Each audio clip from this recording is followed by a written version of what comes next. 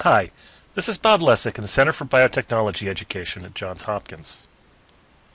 In this exercise, we'll be using BioMart to retrieve data from Ensembl using both the web server at ensembl.org and the command line using R. To get to the BioMart web server, go to the Ensembl main page. That's at ensembl.org. And then scroll up to the top and click BioMart on the blue toolbar. And that takes you to a menu where you're allowed to choose your database.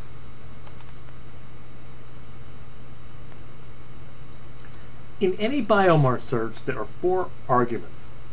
Attributes, that's the column headers that you want in your output.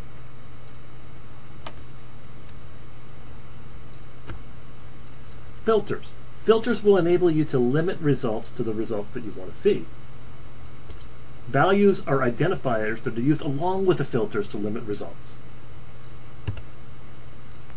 Mart is your fourth argument, that's your data set selection. Okay, let's start with the fourth argument. That's the Mart. That's the database selection. And if you notice, there is a pull-down menu that says Choose Database. And we are going to choose Ensembl Gene 65. That's the most recent as of right now, that's the most recent build of Ensembl. The data set we're going to choose, we're going to look for a human gene that is Homo sapiens genes. Now let's get back to actually creating an exercise with a goal. We're going to use human genes.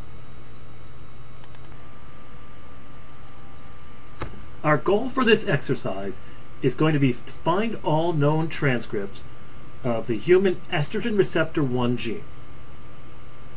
To do that, let's first find that estrogen receptor 1 gene in the Entrez gene database at NCBI.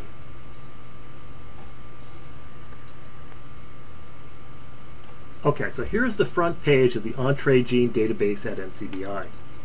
And I will type in estrogen receptor 1, capital A AND, to capitalize the Boolean operators, the NCBI databases human. I'll do bracket ORGN make sure I limit my output to only human genes. Limiting to the organism field. Okay, let's see my first hit is the ESR1, so that is the estrogen receptor 1 gene for Homo sapiens.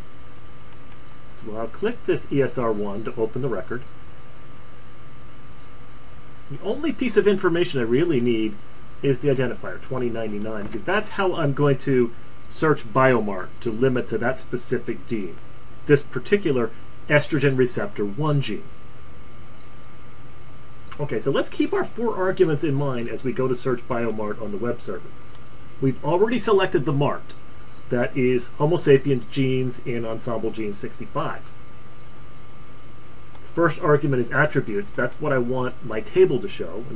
And the default values are ensembl Gene ID and ensembl Transcript ID, We'll click external. I'll add the refseq transcript ID number, so I'll look for refseq mRNA.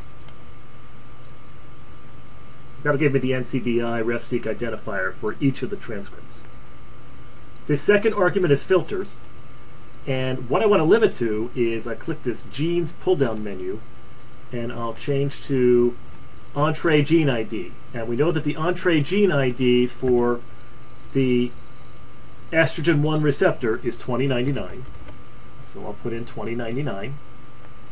The second argument is the filter itself. That's the Entrez gene ID. The third argument is the value. In this case, the value is 2099. The fourth argument is already selected. That's the data set. If I click count, that gives me 1 out of 54,000 genes. So 54,000 genes in the human data set. I've hit one gene, which is the estrogen 1 receptor, but I should have multiple rows because I have multiple transcripts coming out of that gene. So when I click results, you notice here's the gene ID, here's the transcript ID. The gene ID is always the same because it's the same gene. The transcript ID is different because they are different transcript identifiers. And it looks like only some of these code for mRNAs. The others are probably processed transcripts that are non-coding. Now, we can also use R on the command line to solve each of these four arguments, and we should get the same results.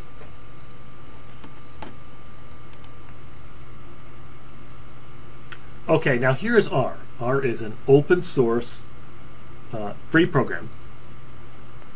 And I've already downloaded the BioMart library. So I can, in R, type library, parentheses, lowercase B-I-O-M-A, capital R-T, and I should have that in quotes, so I'm going to go back and put the BioMart in quotes. R should be capitalized because we're using R. That's how that biomart is defined. And wait for the prompt. And then the command for mart is a little bit tricky, so I'm going to create a shortcut. And I define a shortcut by saying I'll make the shortcut called ensembl. That means when I type ensembl, what I really mean is use mart, which allows me to use a particular mart. And I can choose my mart and data set here. The mart is ensembl. comma data set equals in quotes H sapiens ensembl and there's a command to get the uh, names of these databases and parentheses uh, wait for the prompt Okay, now I'm going to be able to use all four arguments on what I call the getBM command. GetBM stands for getBiomart. Parentheses. My first argument is attributes. Equals, I type C because there's more than one, parentheses. And what I want are ensembl gene ID, and there's underscores in that. The names of the attributes can be found using the list attributes command. Ensembl. Transcript. Remember, these are my headers for my output. Transcript ID. Quote. And our third column was refseq RNA.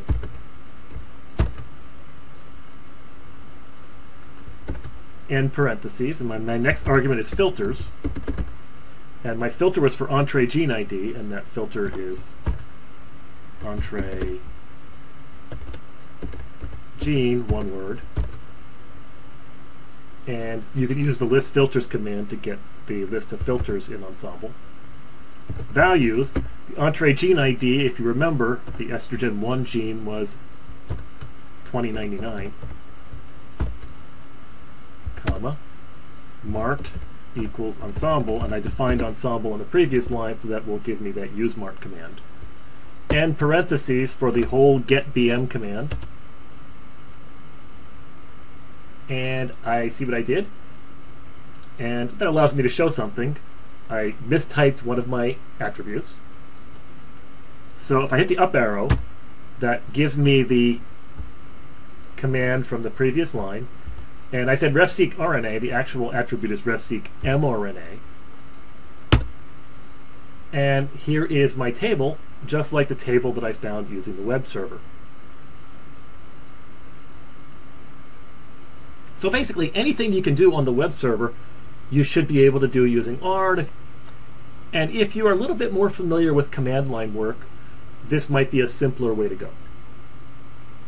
I hope you found this exercise helpful, and good luck using BioMart.